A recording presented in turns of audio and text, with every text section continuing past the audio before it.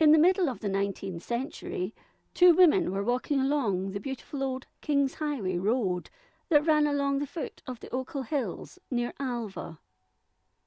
It was night time, but not particularly dark, as the moon, although not fully risen, was shining brightly, its light brightening their path. They soon came to a part of the road that was shaded by a row of trees. Although they had lost their leaves, the trees still cast a gloomy shadow over the area. This set the women on edge as they walked along, and as they approached the darkest part of the road, they thought they saw something. To them it seemed like an unearthly presence had crossed the path in front of them. Thinking it was just their imagination, they continued their walk. At last, when they were emerging from this shady part of the road, the old parish church came into view.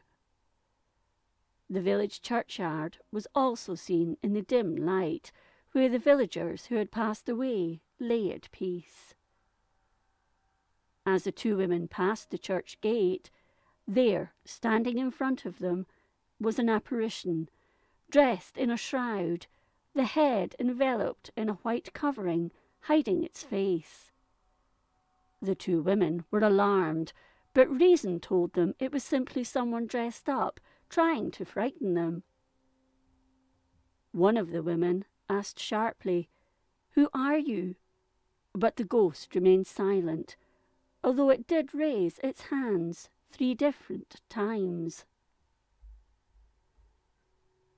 The women, now scared out of their wits, took to their heels running in terror, and didn't stop until they reached a friend's house. They told their story to the occupants of the house, including two men who happened to be there at the time. The two men then set out to find the ghost, with the intention of giving it a piece of their minds.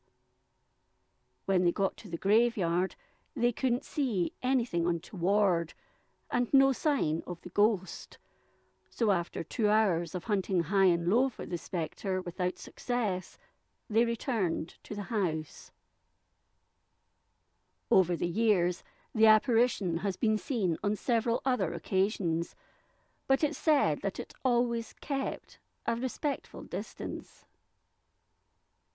Many women in the district became fearful and refused to go anywhere near the graveyard at night, not knowing whether this was indeed the restless spirit of someone who is buried in the graveyard, or someone simply playing a trick on passers by.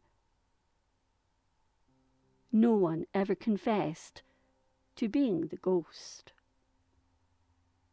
If you enjoyed this episode of Scotland's History, please like, comment, and subscribe.